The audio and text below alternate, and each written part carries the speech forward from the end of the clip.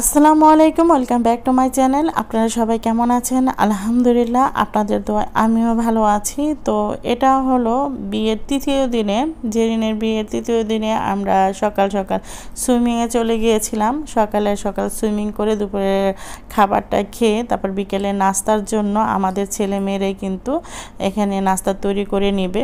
আজকে আমরা রান্নাঘরে যাব না, আমি শুধু ভিডিও করছি। তো এখানে আমার বড় জায়ের মেয়ে এবং এই তো আমার ননাসের মেয়ে এবং ছেলের বউ। ভোরে ভোরে আজকে রান্না করবে, নাস্তা তৈরি করে খাওয়াবে আমাদের আর নতুন জামাইকে খাওয়াবে।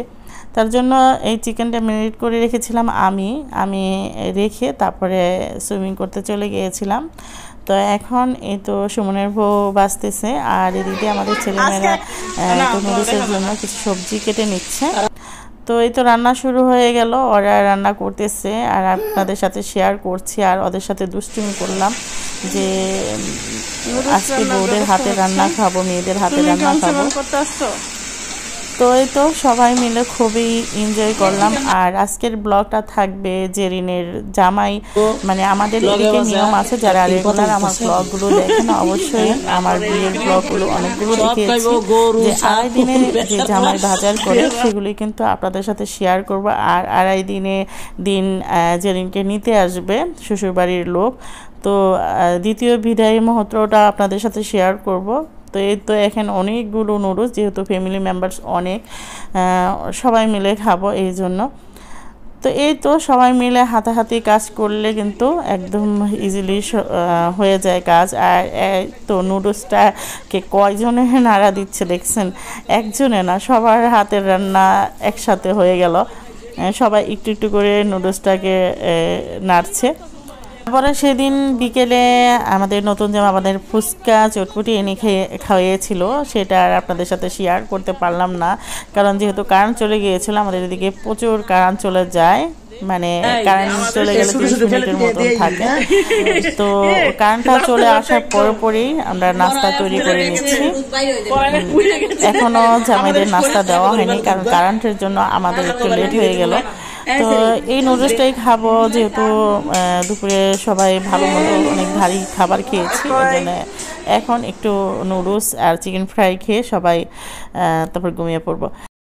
তো পরের দিনে এই তো ব্যান গাড়ি দিয়ে জামাই বাজার করে নিয়ে এসেছে। আলহামদুলিল্লাহ জেরিনের জামাই, আমাদের মেয়ের জামাই যে বাকিগুলো আছে সেগুলো থেকে একদম উপরে।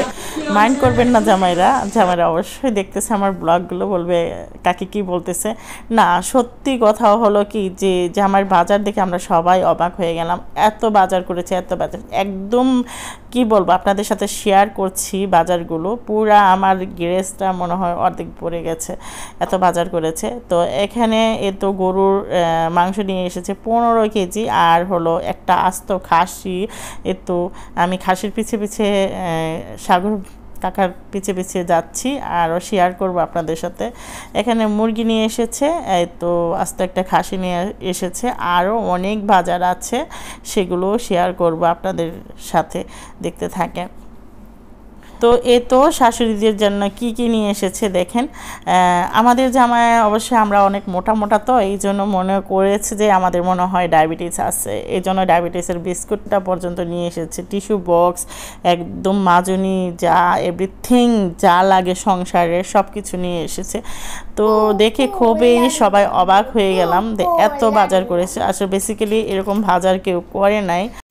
যাক, আলহামদুলিল্লাহ হরিরামপুরের ইউনিয়ন পরিষদের মান সম্মান রক্ষা করেছে আমাদের জামাই। আমাদের জামাই কিন্তু আমাদের এলাকারই, এই জন্য মনে হয় এরকম একটা বাজার করে আমাদেরকে অবাক করে দিল। যারা অন্য জেলা থেকে আমার ব্লগগুলো দেখছেন, তারা মনে বসতেছেন জামাই এতগুলো বাজার করল কি কারণে? আসলে আমাদের এদিকে নিয়ম, আড়াই দিনে জামাই বাজার করতে হয়। শাশুড়িকে সালামি হিসাবে জামাই আগে থেকে কিছু টাকা ধরিয়ে দেয়। তারপরে বাকি টাকা শাশুড়িকে ভরিয়ে জামাইকে মিলিয়ে দিতে হয়। কারণ আড়াই দিনে যে মেয়েকে নিতে আসবে ওটাই কিন্তু জামাই বাজার করে শ্বশুর বাড়ি এবং বাবার বাড়ির লোকদের খাওয়াবে। তো এখানে সবাই কাটাকাটি শুরু করে দিয়েছি। তো রান্না হবে, রান্না শুরু হয়ে গেল। একদম কাটাকাটি শুরু হয়ে গেল। আর এদিক দিয়ে রুকি আপা এখানে সিঙ্গারা, সমুচা, রোল এগুলো নিয়ে এসেছে। তো এগুলো রুকি আপা নিয়ে যাবে তার গ্রামে। তো ওখানে তো আর এগুলো বানানো সম্ভব না, এই জন্য কিনে নিয়ে এসেছে। তো এখন ফ্রিজে রেখে দিব। যেহেতু রুকিয়া পাড়ায় একটু অসুস্থ, ওনার একটু মাথার ব্রেনের সমস্যা ছিল, আলহামদুলিল্লাহ এখন ঠিক হয়েছে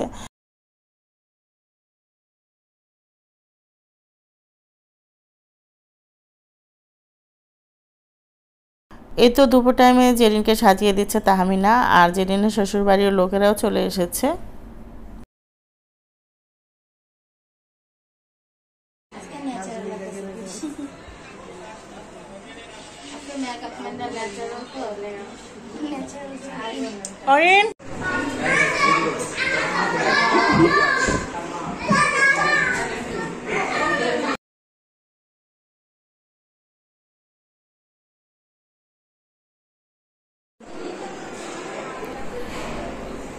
তো এ তো জেরিন এখন জেরিনকে নিয়ে আমরা সবাই নিচে যাব, নিচে গিয়ে খাবার খাব।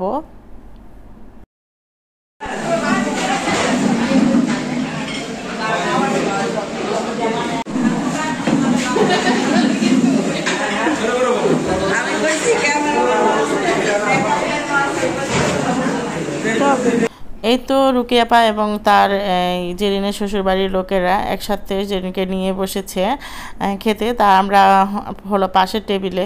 তো সবাই মিলে দুপুরে খাবারটা খেয়ে নিচ্ছি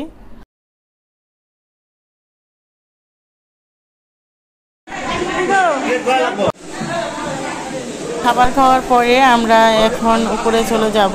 যেহেতু জেরিনকে বিদায় দিতে হবে, সবাই মিলে জেরিনকে রেডি করে নিয়েছি। এখন জেরিনকে সবাই বিদায় দিচ্ছি। তো আজকের মতন ব্লগটি এ পর্যন্ত সবাই ভালো থাকবেন। আল্লাহ হাফেজ।